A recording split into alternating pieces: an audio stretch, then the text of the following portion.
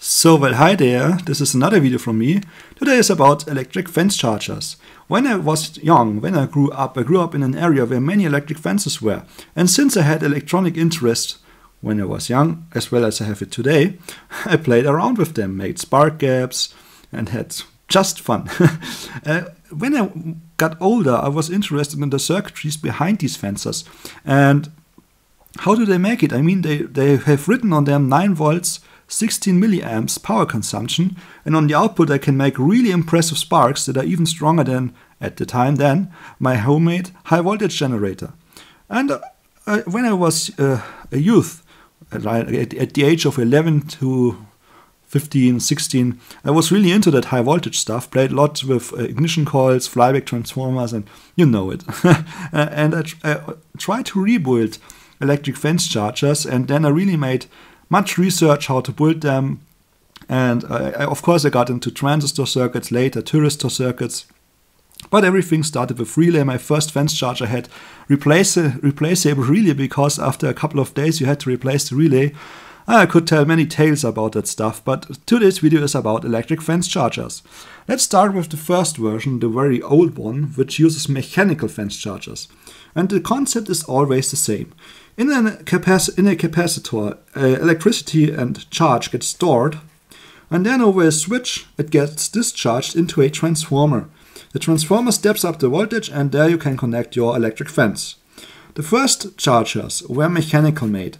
I've seen a video of one that uses some kind of wheel with a spring and then when, when the person turned it on the wheel uh, was kind of spinning, then it stopped, turned back and spin and turned back and always the same direction. So the transformer seems to have had a, an output for its magnetic field, and there, maybe there was a magnet with uh, inverted polarization, and every time the transformer got current, uh, this spring was loaded or was was pushed uh, or pulled. I don't know. I can't remember exactly how it worked. But anyway, it was always mechanical, mechanically solved that this wheel was always going like this.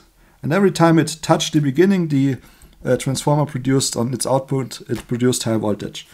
So there is a mechanical solution that always pulses like one times a second, pulses a switch that discharges the capacitor into a transformer.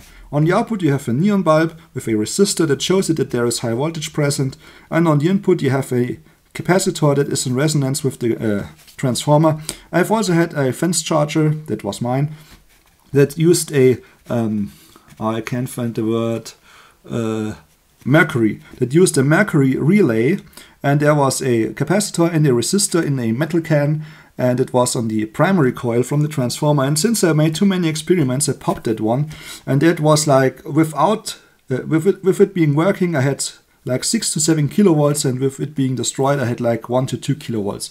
We tried to fix it back in time but we couldn't fix it but this is just one, one thing. I also saw a construction with a whip, with a marble that was always going like this and this and this, and the marble was pulsing a contact then. So they, they were really, really creative back in time with these mechanical solutions. Here is an electric fence charger with pure mechanical solution. At least in theory, I mean, I have a switch. And as you can see, it's sparking. It shouldn't spark. And this would be mechanical. I do use electronics there. And this is without the resonant capacitor. I try to reproduce the experiment from back in time. So, uh, I'm not meaning the movie, of course. so let's have a look at the spark on the output. Come on, at least one spark on camera. Yeah, there was a tiny spark, so as you can see, nothing special going on there. Now I'm adding this resonant capacitor. At least I try to. So now it's added. And you may see it. This spark is no more present or it's very, very weak. And if you have a look on the output, it not only got much stronger, you can even hear the spark now.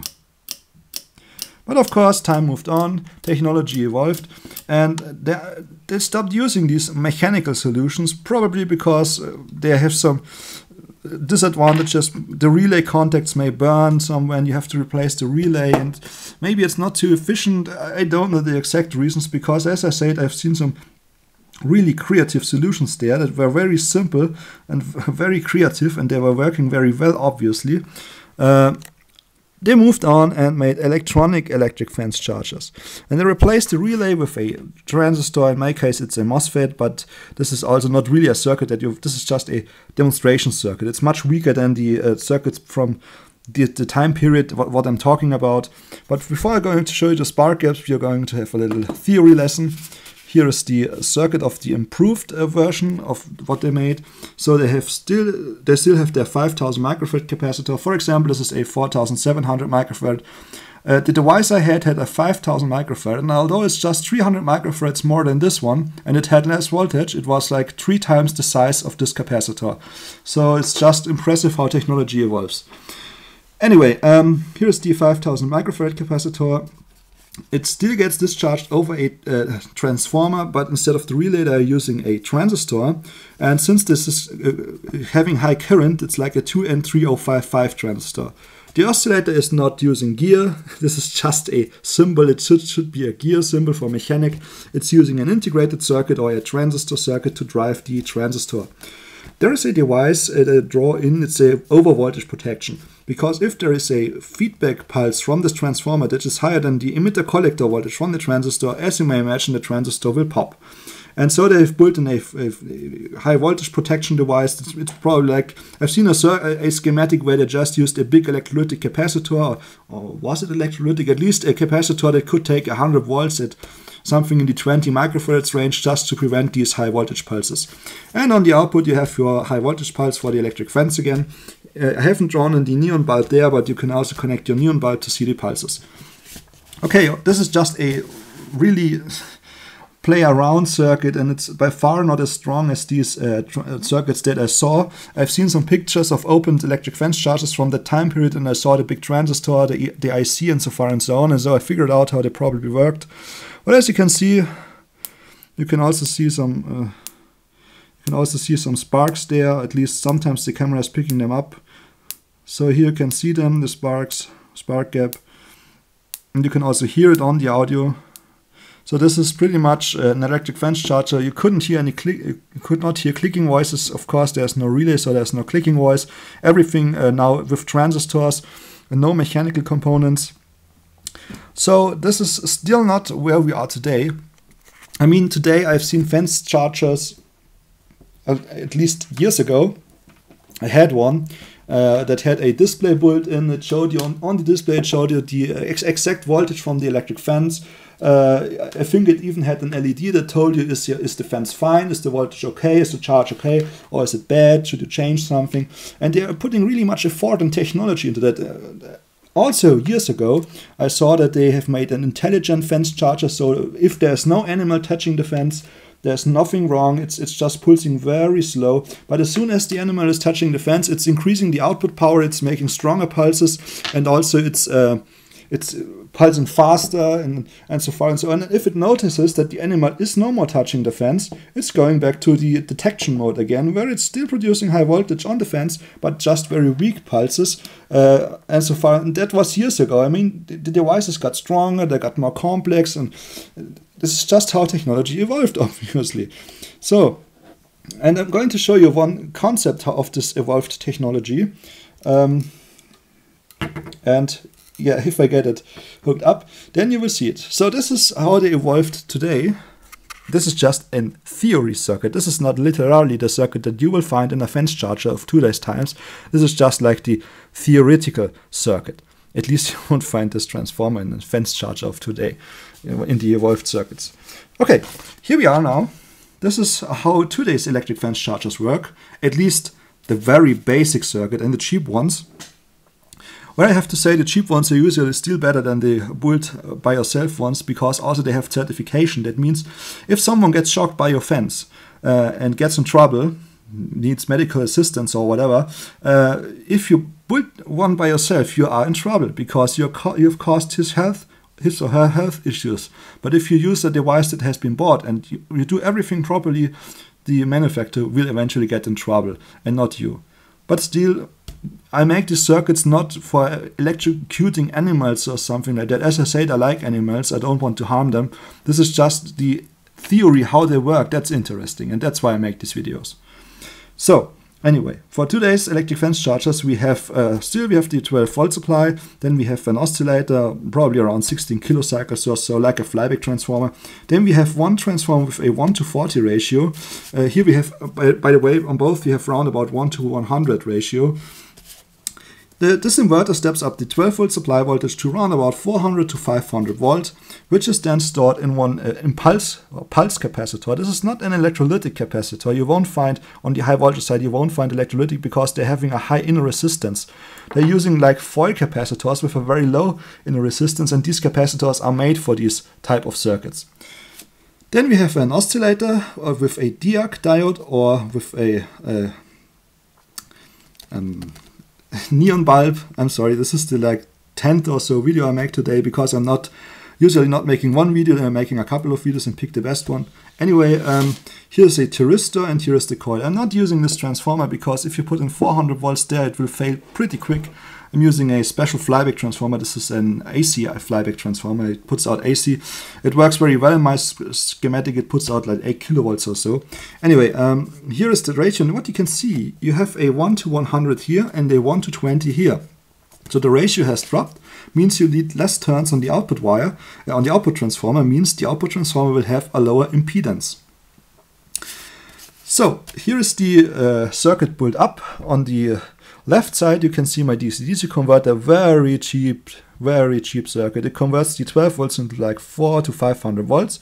Here is my uh, here is my storage capacitor. Here's the thyristor. Here's the diac, or is it a triac? I'm not sure. Uh, here's the trigger diode, and here is this capacitor. How does it work? This one gets charged to 4 to 500 volts. This one gets charged as well, but only to a few volts. Via this resistor divider, it gets charged like 33 volts if it reaches 33 volts, this diode is getting conductive, triggers the thyristor, the thyristor discharges this capacitor into this flyback transformer and we get the high voltage pulse. Both capacitors are empty now and everything starts from the beginning again. Here's the rectifier diode. Oh, it's converting AC to DC and it's it pulse DC to DC. Uh, too much details ain't worth it. this is just a quick video. What is a thyristor? A thyristor is like uh, a switch. It has a gate contact and if you get a put a small pulse onto gate, it's like a switch that closes. And to open the switch, you either have to add a strong negative uh, polarized pulse on gate, or if the voltage goes too low here, too much, too less current is flowing, it will automatically open again. Okay, I'm going to turn it on and eventually we'll see some sparks flying away from this alligator clip since they are a little bit rusty and although they're obviously making contact on the high energy that is flowing here, you will see, still see sparks flying away eventually. Let's turn it on. Oops. Sorry, I made a mistake. Whoops. I hooked it up the wrong way. So now it should work.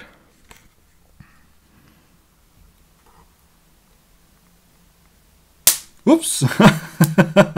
it's, it's quite loud. It's quite loud. so anyway, let's see some sparks. If the camera is picking them up, they are quite quite strong, quite bright. Nah, the camera ain't pick is not picking them up.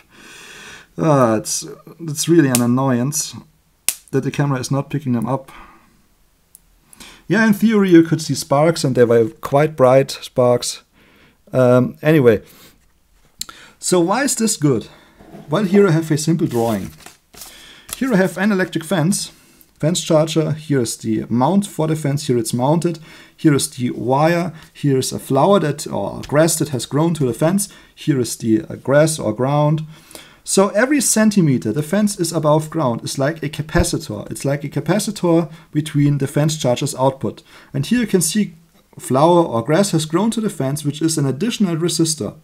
If you have the old fence chargers that are here with the 1 to 100 ratio, the voltage will drop. Like you have 8 kilovolts without load, connect this fence and it will drop to 5 kilovolts, 4 kilovolts.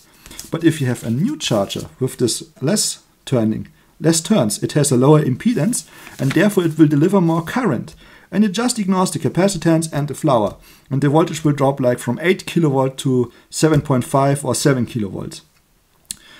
Okay, that's about electric fence chargers. Maybe we can still see a couple of sparks in the last second. Ah, I, I would have to rewire it. So the sparks here are much more intense than on these. And, oh, by the way, transformers in a fence charger, in a fence charger, could in a fence charger could be that big. So that was my short video about electric fence chargers. Best regards, Stefan.